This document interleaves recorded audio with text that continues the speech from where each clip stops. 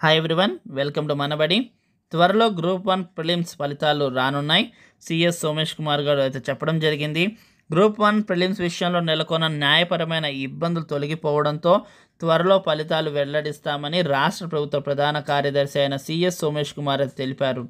So main పరీక్షలకు సంబంధించి ఇరవై ఐదు వేల మందిని అభ్యర్థులు ఎంపిక చేయనున్నట్లుగా చెప్పడం కూడా జరిగింది. అండ్ ఉస్మానియా విశ్వవిద్యాలయంలో ఏర్పాటు చేసిన సివిల్ సర్వీసెస్ అకాడమీ బుధవారం ఐఏఎస్ అధికారులు బుర్రా వెంకటేశం నవీన్ మిత్తల్ వాకాటి కర్ణలతో పాటు ఆయన ప్రారంభించడం అయితే జరిగింది. సో ఆ సందర్భంలో ఆయన ఏంటంటే తెలంగాణకు సంబంధించి లక్ష ఉద్యోగాలు నోటిఫికేషన్ దశలో ఉన్నాయని చెప్పడం జరిగింది. సో త్వరలో మనకి ప్రిలిమ్స్ ఫలితాలు అయితే మనము ఎక్స్పెక్ట్ చేయొచ్చు. న్యాయపరమైన చిక్కులని తొలగిపోవడం బట్టి. సో మరిన్ని అప్డేట్స్ కోసం ఖచ్చితంగా మా మనబడి ఛానల్ని సబ్స్క్రైబ్ చేసుకోండి. Thank you for watching. Do Shan subscribe our channel.